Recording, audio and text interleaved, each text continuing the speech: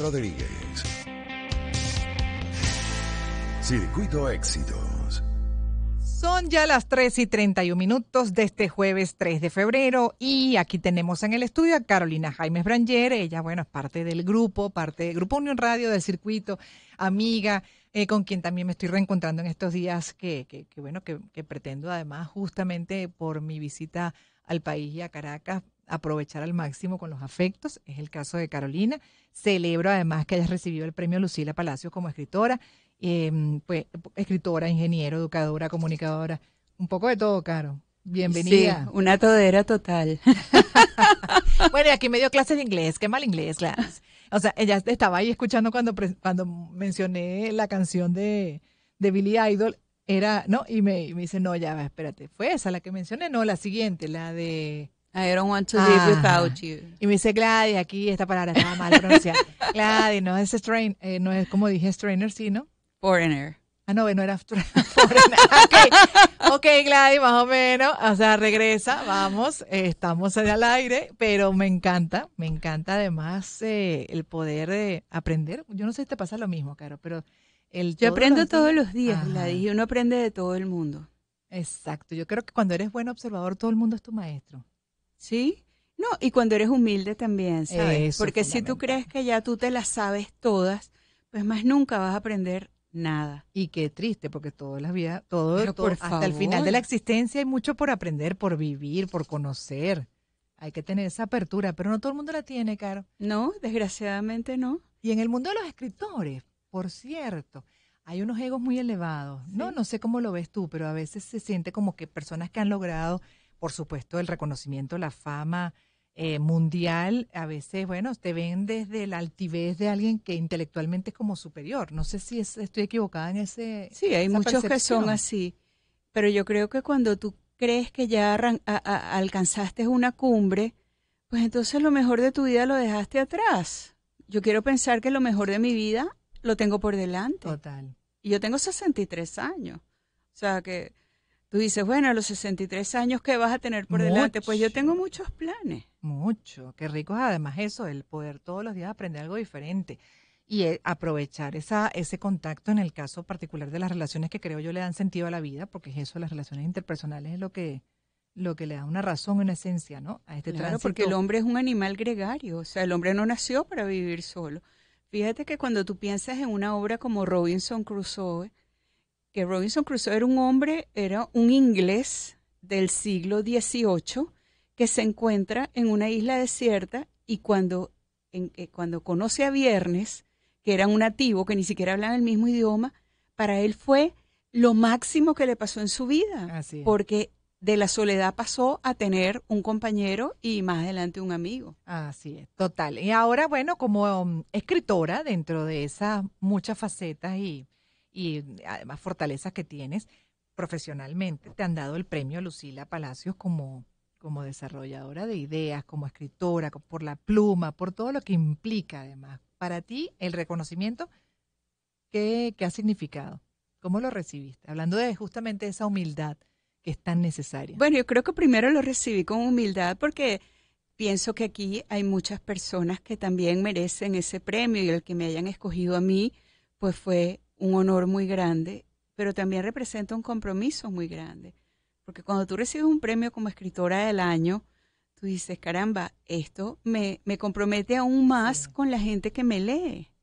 Yo ahorita estoy escribiendo tres artículos de opinión a la semana. Y, y, yo no puedo bajar la guardia ahí porque la gente siempre está esperando que mis artículos tengan la misma calidad. Y no quiero bajarla. Entonces, y ahora con Lucila Palacio por detrás, pues obviamente es un compromiso mayor. Uh -huh. Pero lo que me pasó divertido fue que a mí me avisaron como tres semanas antes que me habían otorgado el premio, pero no lo puedes decir hasta que nosotros no lo publiquemos. Y yo con aquella emoción que se lo quería decir a todo el mundo, bueno, se lo dije a, a mis hijas, se lo dije a Luis Alejandro, se lo dije a mis hermanos, pero no se lo podía decir a más nadie. Yo quería gritarlo a los cuatro vientos porque para mí es una felicidad enorme haber, haber recibido ese premio, sobre todo eh, por lo que significa que se llame Lucila Palacio. Yo conocí a Lucila Palacio en Caracas en el año 84 porque ella era amiga de mi suegra. Imagínate. Mercedes Carvajal de Arocha. Y además que fue no solo una excelente escritora, sino que fue una política aguerrida. Mm. Y a mí me gusta la política, entonces Nos para mí... hemos dado cuenta. Su contenido muchas veces gira en torno a, bueno, es que la política es parte de nuestras vidas. Es que la gente que te dice, no, yo no soy político, no saben lo que están diciendo, porque la palabra político viene de polis, que es ciudad. Si tú eres un ciudadano, eres Así político. Y, y muchas veces, por eso de política, apartar la política, es que pasan las cosas que pasan porque la gente no se involucra. De hecho, recientemente me hicieron una entrevista que está también por publicarse en una revista y la, mm, una de las, de, de las preguntas era que, para mí que es política. Yo le digo deber colectivo.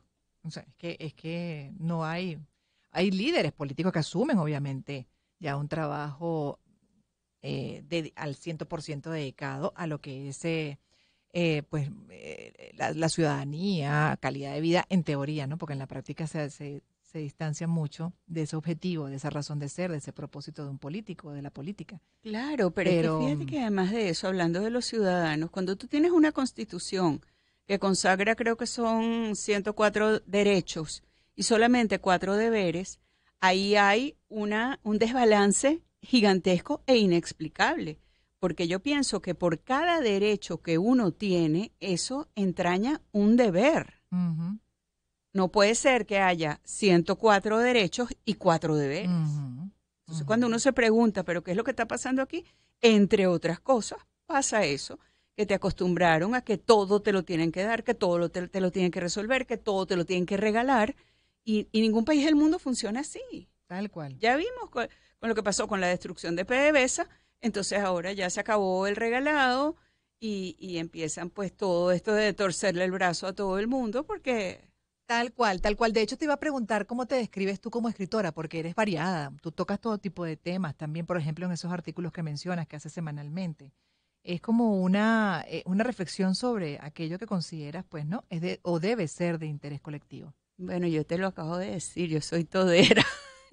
yo escribo sobre lo que me mueve, sobre lo que me conmueve, sobre lo que me preocupa y también sobre lo que sueño.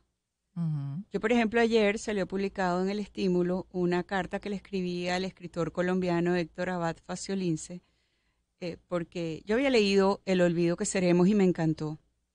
Y hace como tres días Luis Alejandro y yo vimos la película, Luis no había leído el libro y quedó fascinado. Y yo dije, Dios mío, es que yo he tenido que escribirle a Héctor, a decirle que, que, que no es que su libro es una maravilla, sino que yo pude hacer un paralelismo con mi papá. Entonces el artículo hace el paralelismo, pero también es un homenaje a mi papá, que como el papá de Héctor fue médico, que como el papá de Héctor fue un hombre ex- extremadamente humano, que cuando mi papá murió, no asesinado como el papá de él, pero sí murió trágicamente porque fue un accidente de carro, eh, mucha gente que nosotros no conocíamos se presentó en el entierro a decir, su papá me ayudó en tal y tal ocasión, su papá fue una belleza de persona, su papá.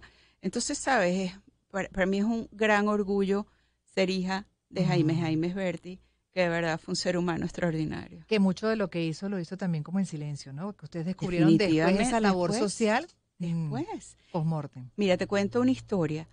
Eh, había una señora que trabajaba con él en el laboratorio de medicina tropical, el doctor Pifano, mi papá trabajaba con el doctor Pifano, y la señora ella lavaba los frascos. Una vez mi mamá estaba en los Estados Unidos con mis hermanos y la quien estaba aquí era yo y él me dijo, vamos para el matrimonio de fulana.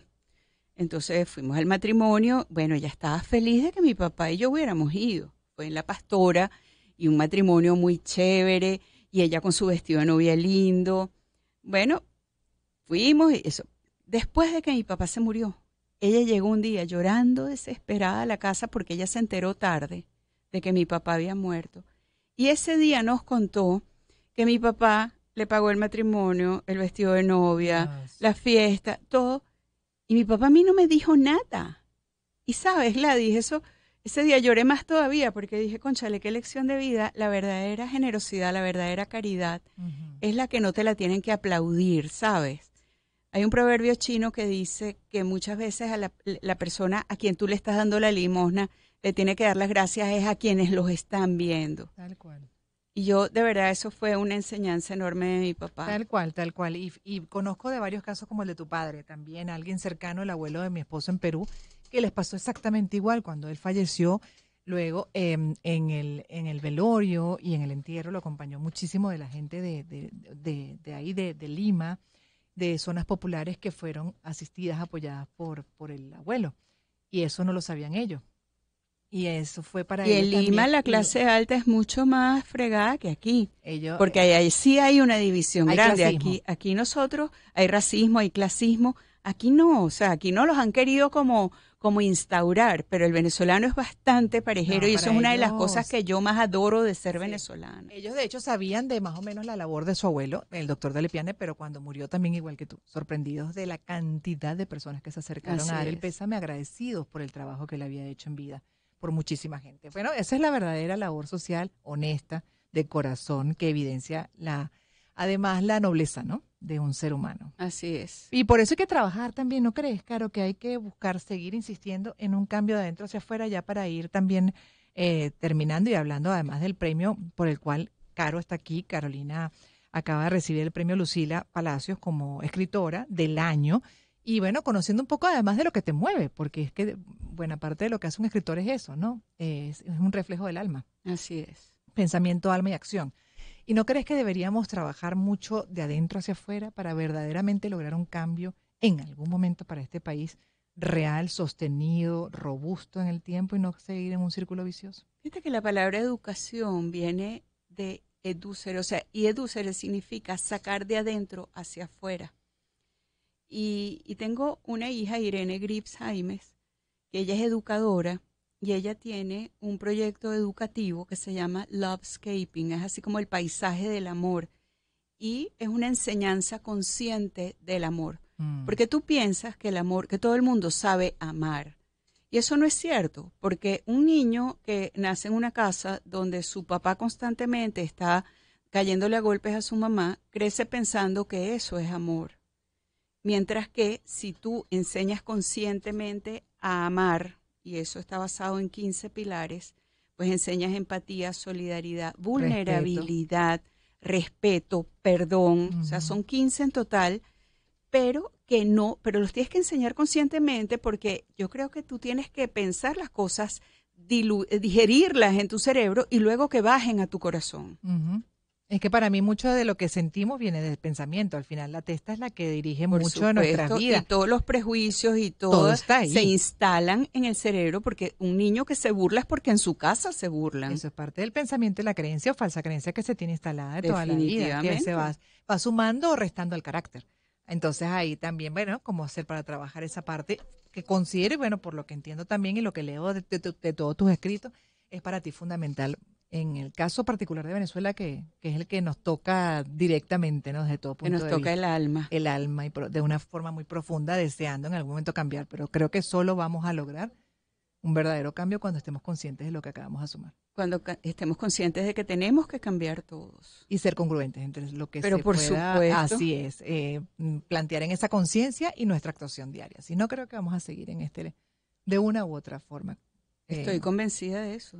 Es que no es que son o, no es otro que venga a Ah, resolver el problema, somos mesías. todos, todos y el cambio empieza la por cada política uno. exacta la corresponsabilidad Exactamente. bueno entonces nada celebramos caro y que la- te pueden leer por dónde para que Yo escribo los lunes en Runrunes en el Nacional y en una cantidad de diarios de provincia. Escribo los miércoles en El Estímulo y los viernes en Termómetro Nacional. y libro Ay, me va a publicar Planeta, mi primera novela ahorita mediados de año para toda el área andina, Venezuela, Colombia, Ecuador y Perú. y en, en qué vas a girar en torno La, la novela se llama Gente Bien y es sobre la hipocresía de la alta sociedad venezolana a principios del siglo XX. me encanta Eh, la novela empieza en 1908 y termina en 1945.